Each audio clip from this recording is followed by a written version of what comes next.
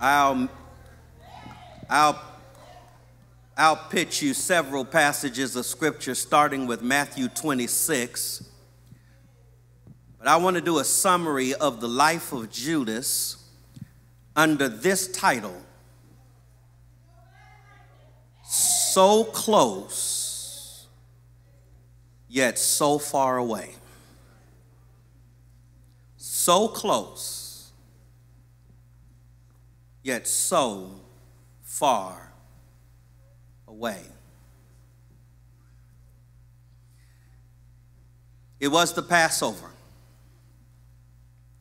the annual celebration of Israel's exodus out of Egypt.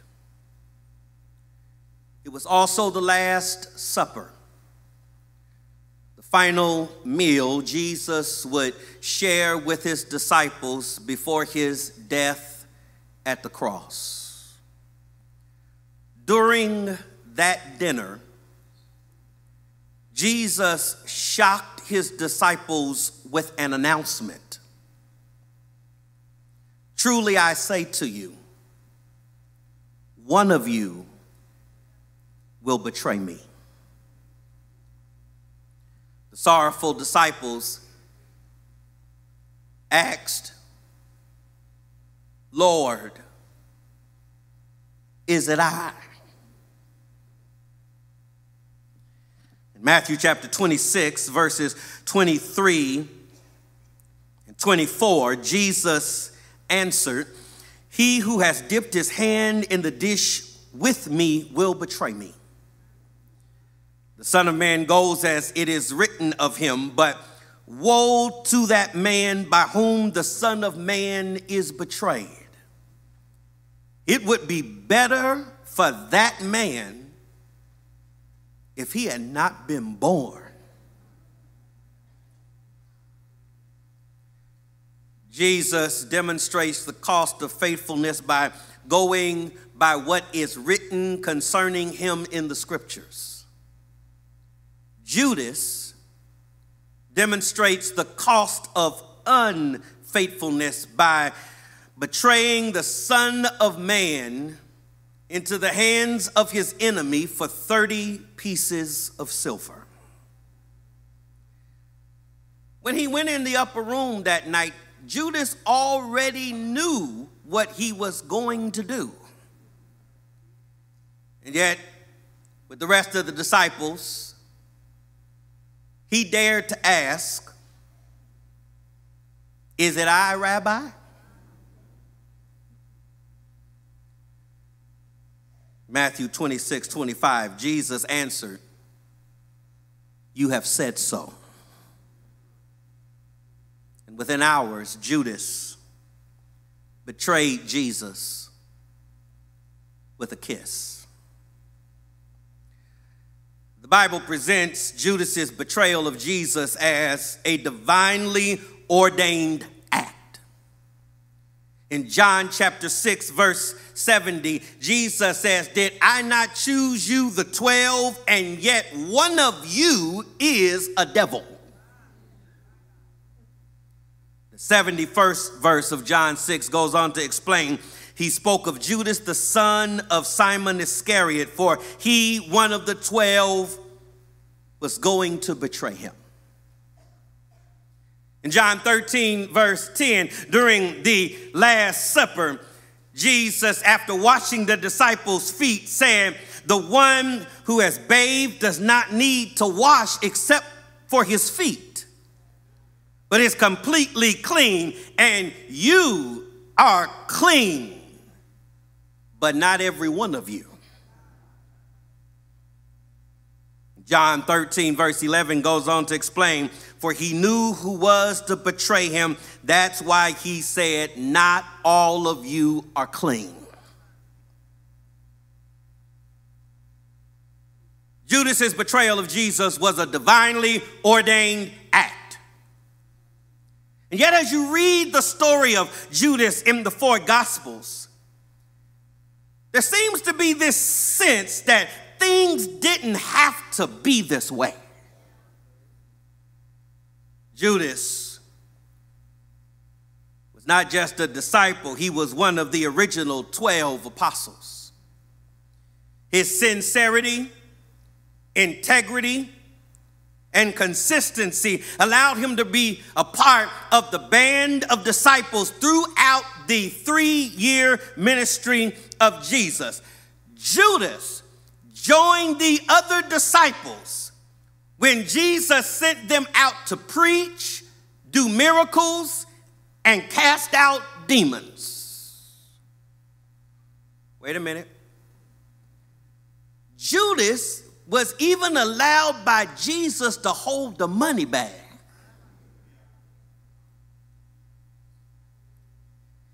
Just seems that it didn't have to be this way, that he didn't have to waste his life, his ministry, and his opportunity. But he did. Why did Judas do it? It may have been a love of money. It may have been hateful treachery in his heart. It, may have been some warped sense of devotion. We do not know. S. Pearce Carey wrote, More is told of Jesus in the Gospels than any other disciple except Peter. Yet he is little known. Indeed, he is wrapped in a mystery. That's right. The life of Judas is a mystery.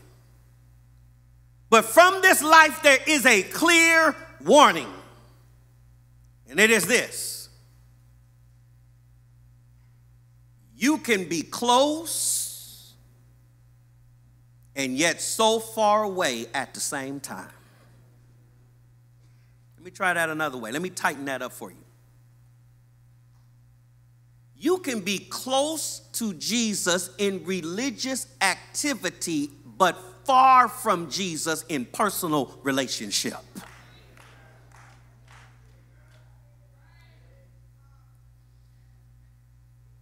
The story is told that when Leonardo da Vinci painted his famous The Last Supper in the 15th century, he began that great work of art by painting Jesus in the center of the table.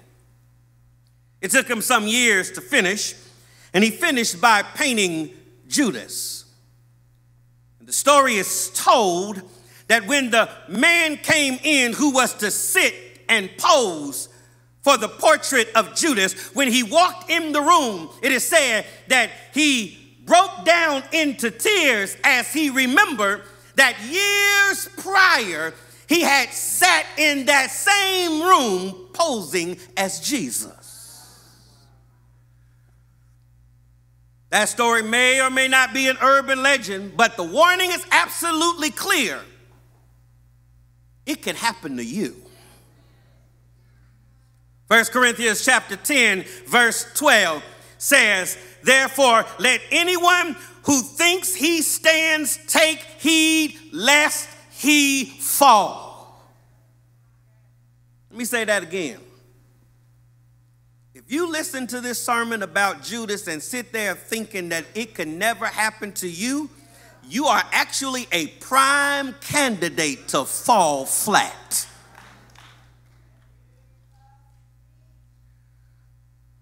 My favorite personal prayer course is a song my mother taught me, Lord, I want to be a Christian in my heart. Do you know that prayer course? I checked the hymnal this morning. There are five verses in my hymnal of that prayer course. One of the verses is, Lord, I want to be a Christian in my heart. Another is, Lord, I want to be like Jesus in my heart. Another is, Lord, I want to be more loving in my heart. Another is, Lord, I want to be more holy in my heart. Did you know, however, the fourth verse of that song says, I don't want to be like Judas in my heart. May that be your prayer today as we begin Holy Week. Lord, don't let me be like Judas in my heart. There are five lessons from the life of Judas that I want you to see. It warns us that you could be close and yet so far. Let me walk you through these five lessons as quickly as I can. Lesson number one being in the company of Jesus does not mean you are saved. Being in the company of Jesus does not necessarily mean that you are genuinely saved. You can be unsaved and unchurched. You can be churched and unsaved. But I don't think you can really be saved and unchurched. Unchurched Christian is not a biblical category.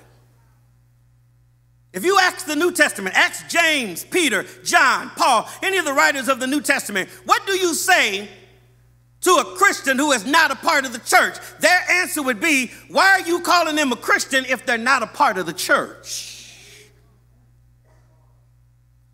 Christ is the head of the church, the church is the body of Christ, and Christ does not have out of body experiences. To be in fellowship with the head, you've got to be hooked up with the body. First John chapter 3 verse 14 says, "We know that we have passed out of death into life because we love the brothers and sisters, and whoever does not love his brother abides in death." The evidence of genuine salvation is that you not just love Jesus, you love everybody that loves Jesus.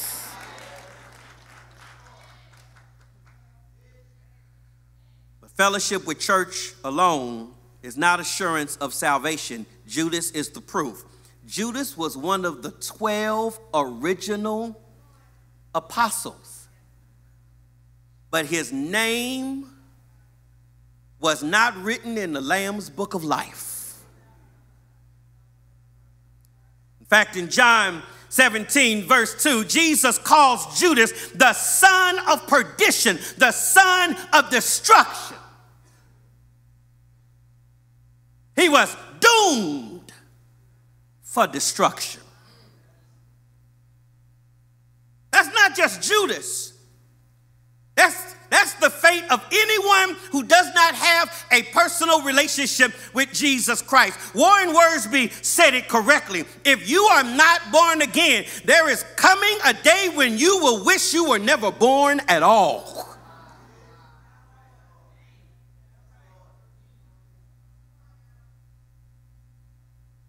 Going to church doesn't make you a Christian any more than going to a garage make you an automobile. You must be born again. In Pilgrim's Progress, John Bunyan wrote, Then I saw that there was a way to hell even from the gates of heaven. What does that mean? Let me tell you what that means. Let me bottom line that for you. That means that you can go to hell from a church pew just as easily as you go to hell from a bar stool. Being in the company of the disciples does not in and of itself guarantee that you are right with God. Worship attendance, church membership, moral behavior, generous giving, charitable acts, ministry participation, and, and even church leadership doesn't assume you are right with God. Matthew 7 21 through 23 says, Not everyone who says to me, Lord, Lord, shall enter into the kingdom of heaven but only he who does the will of my Father who is in heaven. For on that day there will be many who say to me, Lord, Lord, did we not prophesy in your name? And cast out demons in your name, and do many marvelous works in your name. And I will say to them, I never knew you. Depart from me, you workers of iniquity. Being religious is not what makes you right with God. How do you get right with God? John 14, verse 6 says, I am the way and the truth and the life. No one comes to the Father except through me. Lesson number two divided loyalties will harden your heart against Jesus. Divided loyalties will harden your heart against Jesus. Luke 22, verses 1 and 2 says, Now the feast of unleavened bread drew near, which is called the Passover, and the chief priests and the scribes were seeking how to put him to death, for they feared the people. The religious leaders were, at this point were done playing with Jesus. They determined to silence him once and for all. But they needed to arrest him secretly, lest they further inflame the messianic passions of the Passover crowd. But they didn't know how to get him. Luke 22, verse 3. Then Satan entered into Judas called Iscariot, who was one of the number of the twelve. Verse 4 He went away and conferred with the chief priests and officers how he might betray him to them. What blows me away is the religious leaders didn't go looking for Judas, Judas went looking for them. To find a way to sell Jesus out. Judas was a devoted disciple. But Satan manipulated the unsurrendered areas of his heart to betray Jesus.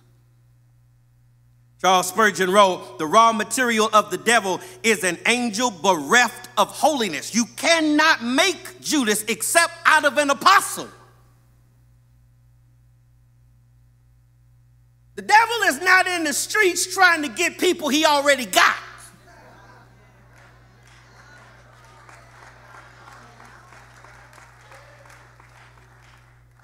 He's trying to get you to turn on Jesus. And his schemes will work if your heart has divided loyalties.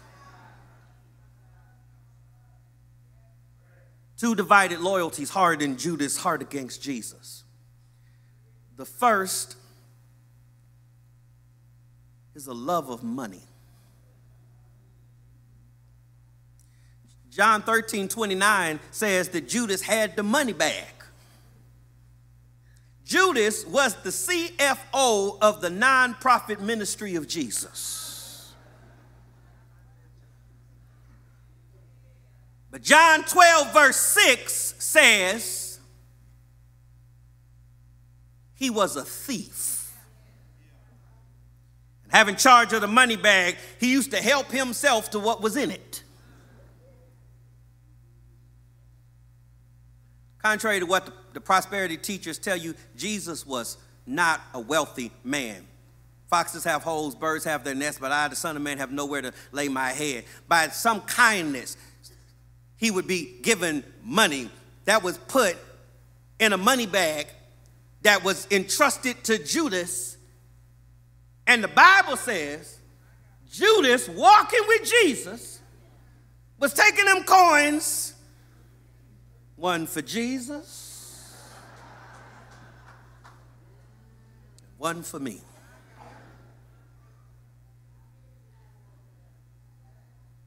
While you laugh, brothers and sisters, let me warn you. A sinful love of money caused Judas to betray Jesus. Matthew 26, 14 through 16 says, Then one of the twelve, whose name was Judas Iscariot, went to the chief priests and says, What will you give me if I deliver him over to you? And when they paid him 30 pieces of silver, from that moment, he sought an opportunity to betray him. And so I want to warn you, saints, you can't love money and love Jesus at the same time. Matthew 6, verse 21 says, For where a man's treasure is, there will his what? Heart be also. That's a countercultural, supracultural idea. It's counterintuitive. What we think is, where a man's heart is, there will his treasure be. That if something or someone has your heart, you'll give them your treasure. That's not what Jesus said. Jesus says, where your treasure is, your heart will follow. The warning is do not invest in anything that's not worth loving. Because when you invest your time, your money, and your affections in a thing, your heart will follow what you invest in.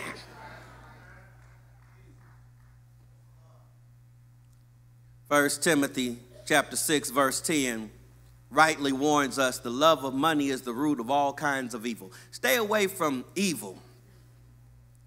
But I mean Stay away from evil, but run from anything the Bible calls the root of evil. You know what the root of evil means? The root of evil means if you play with that sin, other stuff will grow from it. If you if you love money, ain't no telling what you might do. You may even sell Jesus out for 30 pieces of silver if you let the love of money get in your heart. His other problem was what I want to call self styled religion. Self styled religion.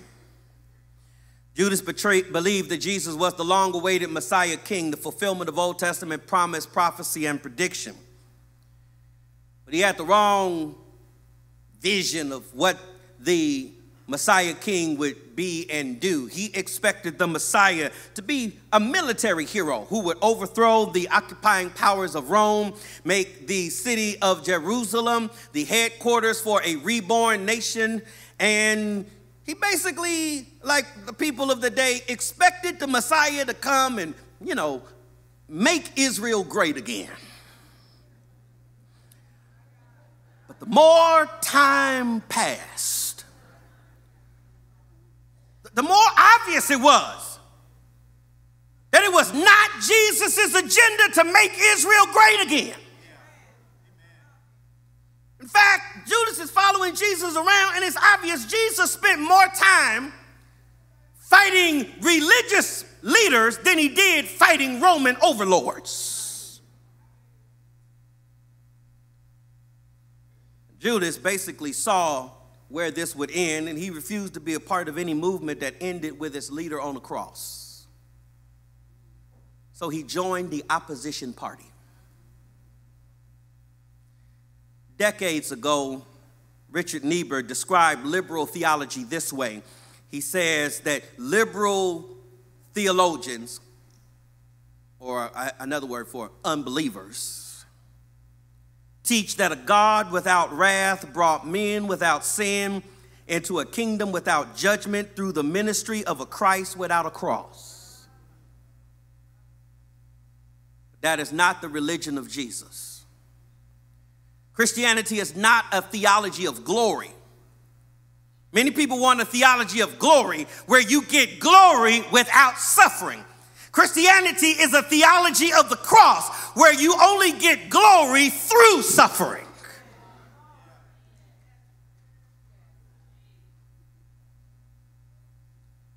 You'll never be devoted to Jesus if your devotion to Jesus is only based on what you can get out of him.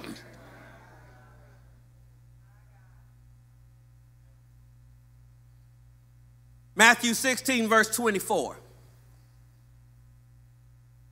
Jesus does not say, if any man would come after me, let him jump in my limo. He says, if anyone would come after me, let him what? Deny himself and take up his cross and follow me. What does it cost to follow Jesus, Shiloh? It'll cost you everything. You're going to have to say no to yourself, take up a cross, and follow him wherever he leads. It'll cost you everything to follow Jesus. But let me give you a little bit of good news. There ain't a lot of places to amen on this sermon, but I hope I got a witness in here besides myself. It's worth what it costs. It, it, it, it may cost you everything to follow Jesus, but it's worth what it costs. Lesson three the sinner will find no true friendship in his sin. The sinner will find no true friendship in his sin. Matthew 27, verses 3 and 4 says this Then, when Judas, his betrayer, saw that Jesus was condemned, he changed his mind and brought back the 30 pieces of silver to the chief priests and the elders, saying, I have sinned by betraying innocent blood. And they said, What is that to us? See to it yourself. The sinister plan to betray Jesus fully succeeded.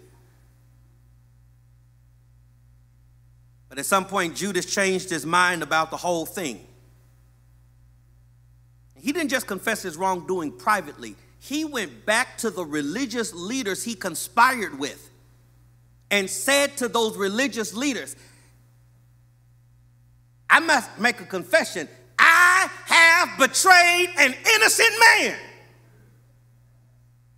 And not only did he confess his wrongdoing, church, he literally put his money where his mouth was. He tried to give them the money back.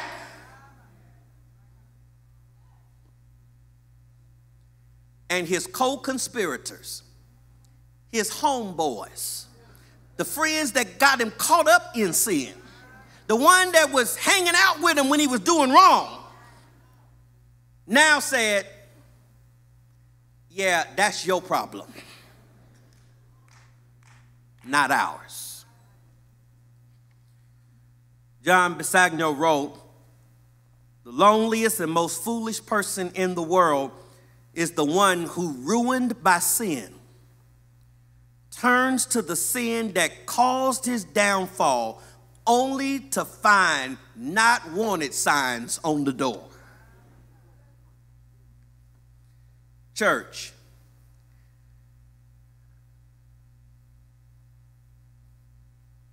Let me particularly say this. This is for everybody, but let me lean in and say this to the young people in the room.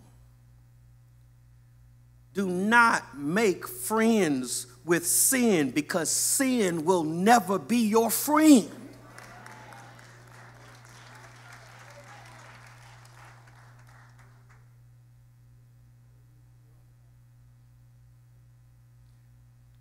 The world will tell you it's your choice. You can live any kind of way you want to live.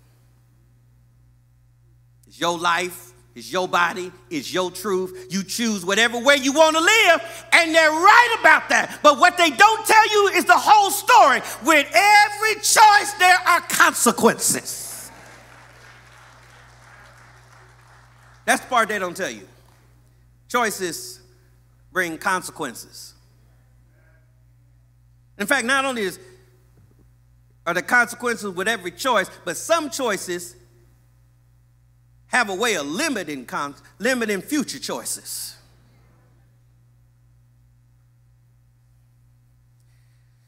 You go downtown and jump off a skyscraper. You choose, you're free to choose to do that. But once you jump, you out of choices. You just got to deal with the consequences of your choice.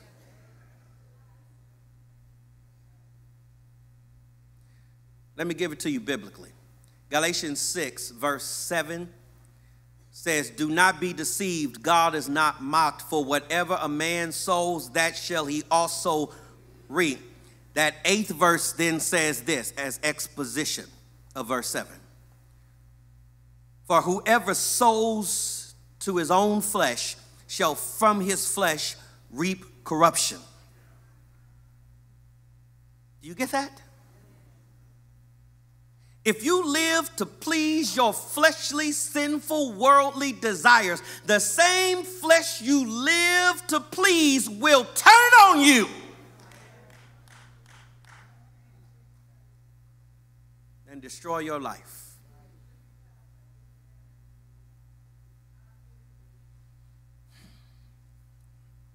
Have you, uh, have you ever heard how Eskimos hunt wild foxes? They, um, they take a big knife, coat it with blood, and then let it freeze, and then pour more blood on it, and then stick it handle first in the snow. And the, the, the, the wild fox smells the blood and is attracted to the blade and starts licking the blood off the blade and keeps licking, keeps licking until he dies. Because as the fox feverishly laps up the blood, he never recognizes that at some point he's no longer licking blood off the blade, but he's licking his own blood to his death.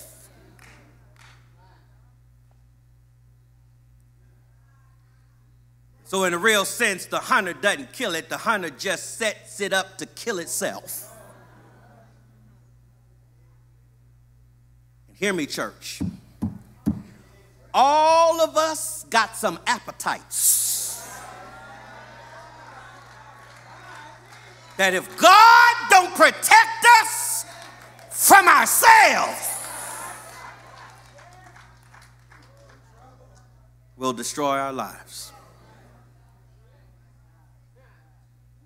Sure, Satan was clearly involved in Judas's betrayal. But Judas was his own worst enemy.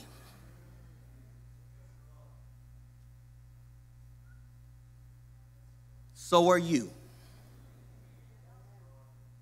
So am I. I am my own worst I don't got to worry about nobody that don't like me if I can just keep me straight.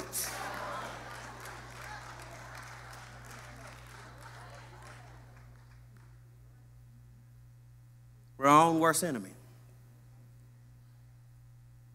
Sin is not a friend, it's an enemy determined to destroy you. James 1 13 through 15 says, Let no one say when he is tempted, I am being tempted by God. For God cannot be tempted with evil, and he, he himself tempts no one, but each person is tempted when he is lured and enticed by his own desire.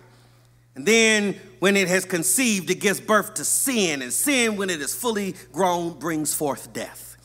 Number four, repentance. Repentance is the only way to deal with the guilt of sin. When Judas was arrested in the Garden of Gethsemane, all the disciples deserted him, but Peter and Judas specifically failed the Lord. Peter denied Jesus three times, Judas betrayed Jesus into enemy hands. But I want you to get this both Peter and Judas failed big time. Peter was restored and became a key leader of the early church. Judas was overcome with sorrow and committed suicide. Difference between these two stories can be summed up in one word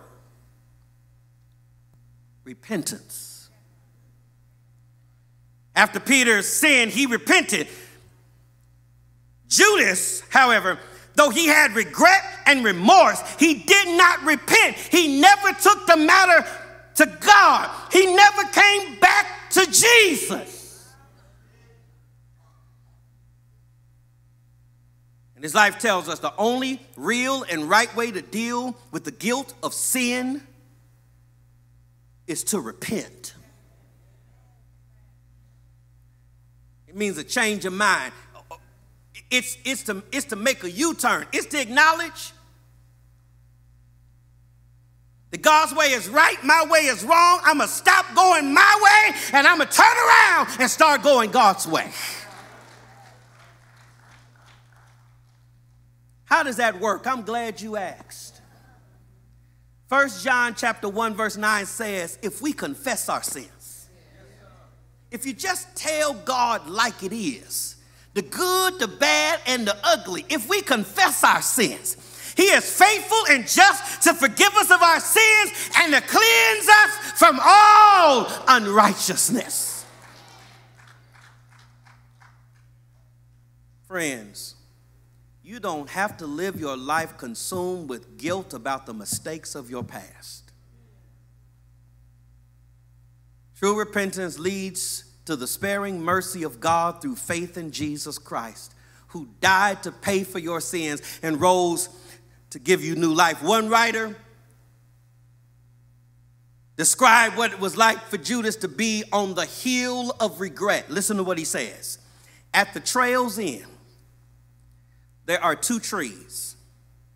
One is weathered and leafless, it is dead but still sturdy. Its bark is gone, leaving smooth wood bleached white by the years. The twigs and Buds no longer sprout, only bare branches fork out from the trunk.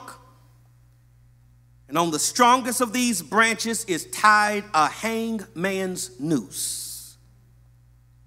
It was here that Judas dealt with his failure. But if only Judas would have looked at the adjacent tree it's also dead. Its wood is also smooth. But there is no noose tied to its crossbeam. There's no more death on that tree. One death was enough.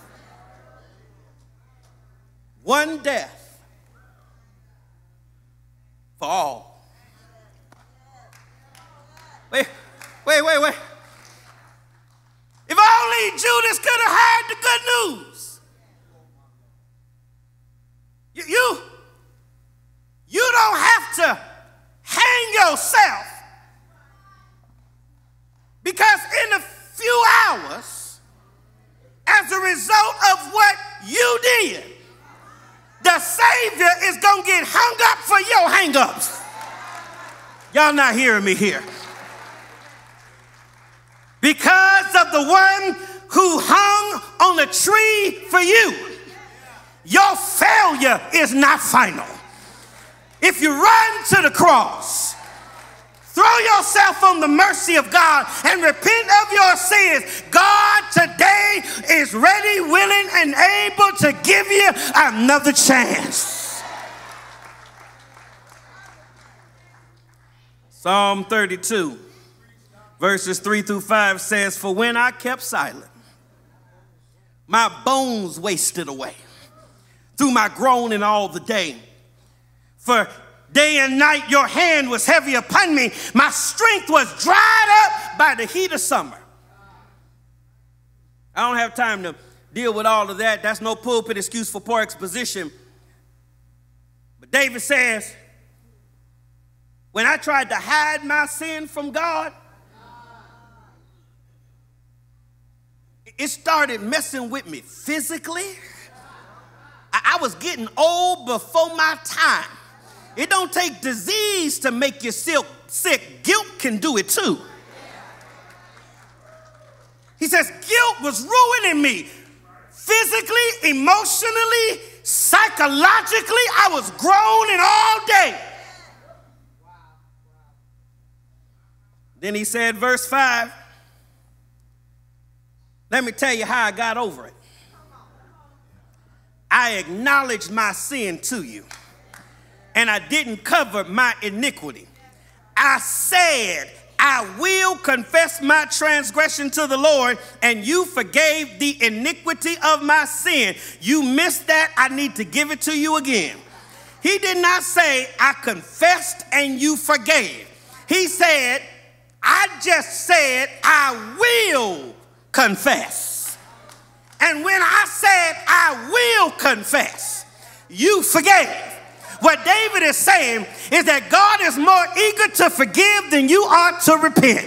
The bad news is that you can you can run but you can't hide from God. The good news is you can run to God and you can hide in God and the blood of Jesus will give you another chance.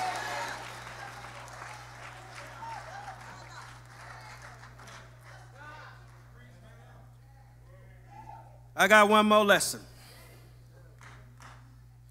One more lesson. Let me share it with you and I'll go sit down.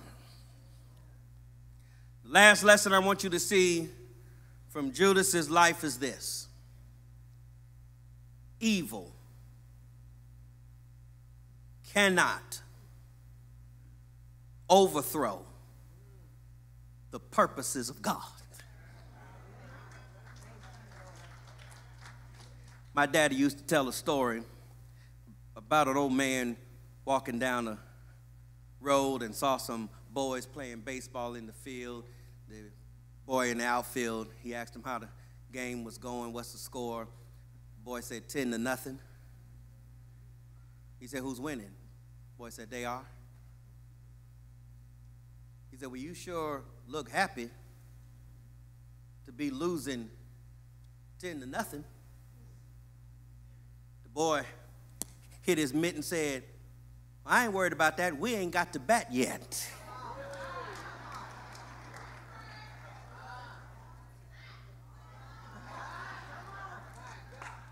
When you read about the plot of the religious leaders, the betrayal of Judas, and the death of Jesus on the cross, it seems as if evil has won.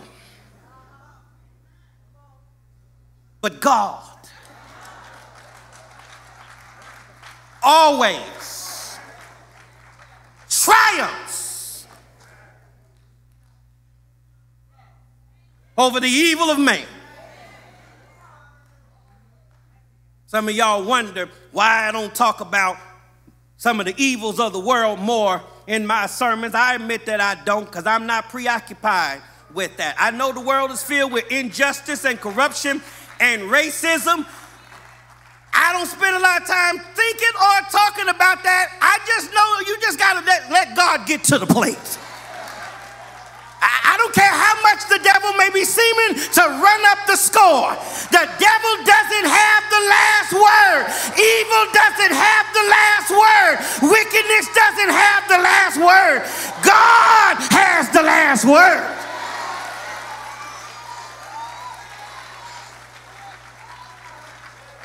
Oh, the church need to overthrow wicked system. No, we don't. Judas says, God don't have to overthrow the wickedness. He can use the wickedness for his glorious plan. Y'all don't like that? Let me give you some Bible to go with that. And we know that all things work together for the good of them that love God and are called according to his purpose. I'm talking to somebody in this room. You've been betrayed. Your heart has been broken. People have let you down. The church has disappointed you. Hang on in there. God is able to take what is meant for evil and work it out for your good.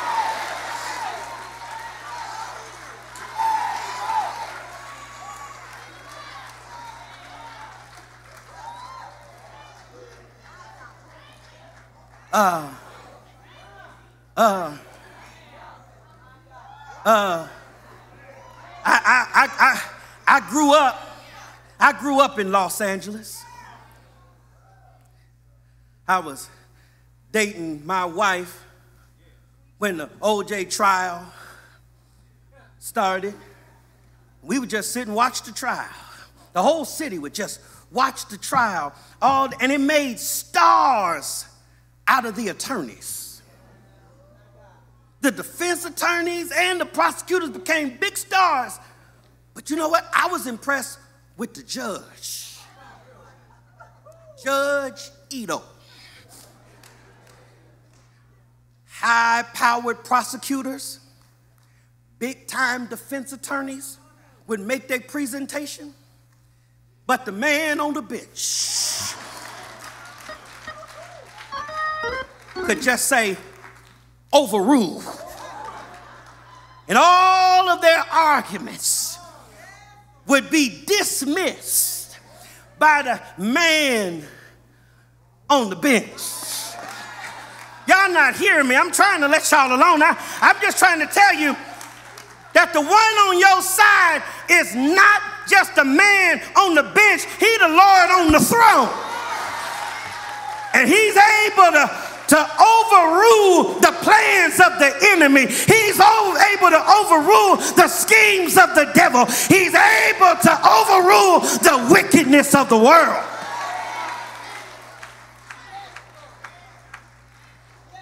If you want proof he can turn it around, just run to the cross and look at Jesus. The cross is man at his worst, but God at his best. Acts chapter 2, 22 through 24. Peter said on the day of Pentecost, Men of Israel, hear these words. Jesus of Nazareth, a man attested to you by God with mighty works and wonders and signs that God did through him in your midst, as you yourselves know. This Jesus delivered up by the definite plan and foreknowledge of God. You crucified and killed by the hands of lawless men. But God raised him up, loosing the pains of death because it was not possible for him to be held by it. God, not Judas, God had the last word in the death of Jesus on the cross. And in his sovereign grace, God chose to use the betrayal of Judas as the means to provide the forgiveness of all who, after Judas, betray Jesus. Judas missed his opportunity. But it's not too late for you.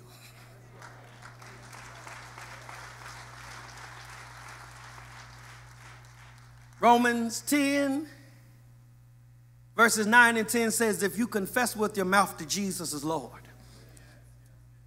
and believe in your heart God has raised him from the dead, you will be saved. Because with the heart one believes and is justified.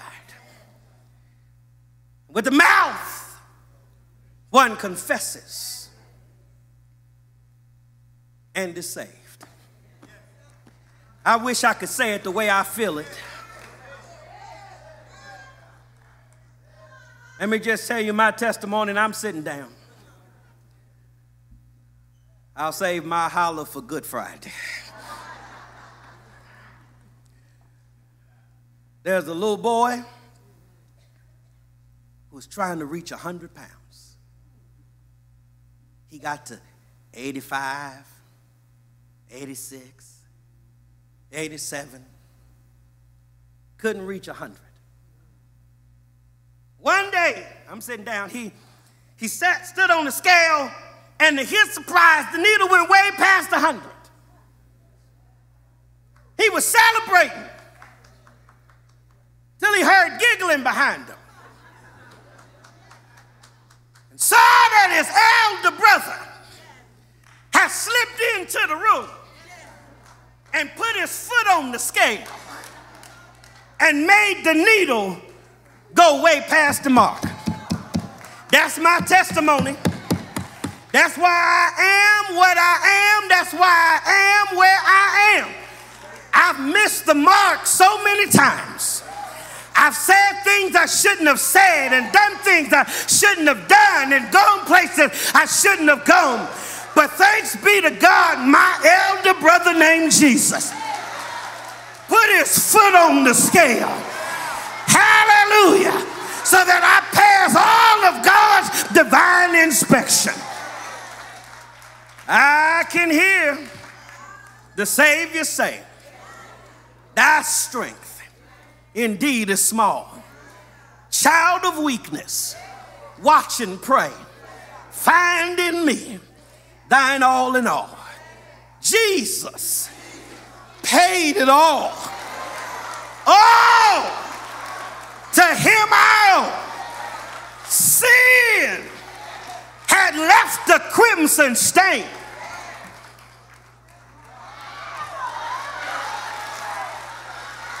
But he washed me. Anybody glad you've been washed? Hey! Hey! He washed me.